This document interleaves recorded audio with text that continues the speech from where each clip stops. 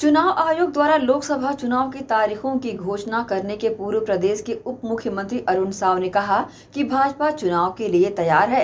विधानसभा चुनाव के ठीक बाद भाजपा ने लोकसभा चुनाव के लिए अपनी तैयारियाँ शुरू कर दी थी।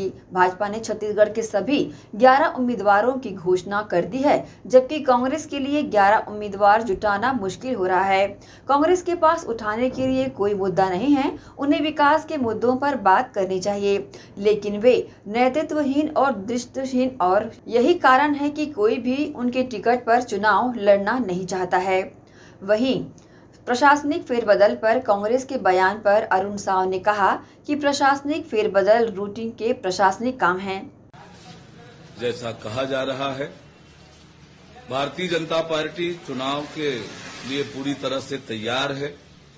विधानसभा के चुनाव समाप्त होते ही भारतीय जनता पार्टी लोकसभा चुनाव की तैयारी में जुट गई थी और लगातार हमारी बैठकें हो रही है और अब विधानसभा के सम्मेलन पार्टी ने प्रारंभ कर दिए हैं। हमारे 11 के 11 प्रत्याशी घोषित हो गए हैं। निश्चित रूप से हम पूरी तरह से मजबूती से चुनाव के मैदान में हैं। आज कांग्रेस पार्टी के जो हालात हैं वो प्रत्याशी तय नहीं कर पा रहे हैं, क्योंकि कांग्रेस पार्टी के टिकट पर कोई चुनाव लड़ने को तैयार नहीं है। जनता का मूड देखकर क्योंकि जनता ने तय कर रखा है 11 की 11 सीटें नरेंद्र मोदी जी की झोली में डालने के लिए। पिछले 10 सालों में नरेंद्र मोदी जी की सरकार ने, नरेंद्र मोदी जी ने आम जनता के जीवन में जो परिवर्तन लाने का काम किया है, दुनिया में भारत का मान सम्मान और गौरव बढ़ाया है। इसके कारण से आम जनता ने तय कर रखा है तीसरी बार फिर से नरेंद्र मोदी जी को देश की बागडोर सौंपने के लिए।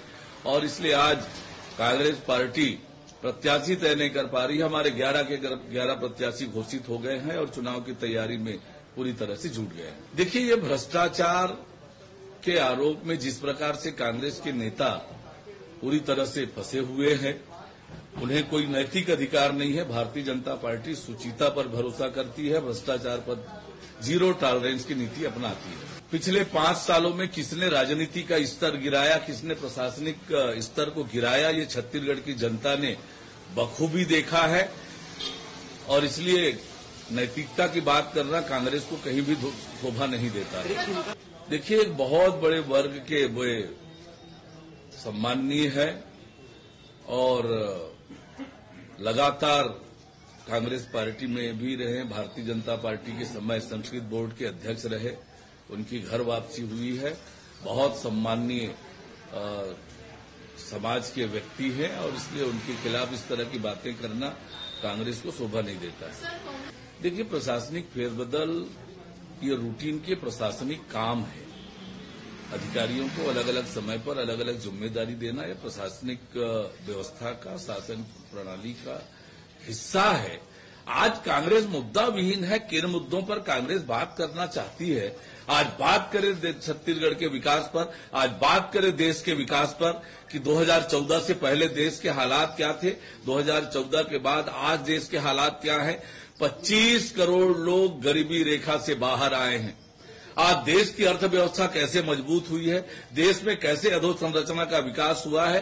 देश कि अर्थतंत्र कैसे मज़बूत हुई है, आम लोगों के जीवन में कैसे परिवर्तन आया है। आज चार करोड़ से अधिक लोगों को प्रधानमंत्री आवास मिला है। ग्यारह करोड़ से अधिक लोगों के घरों में आवास बना है।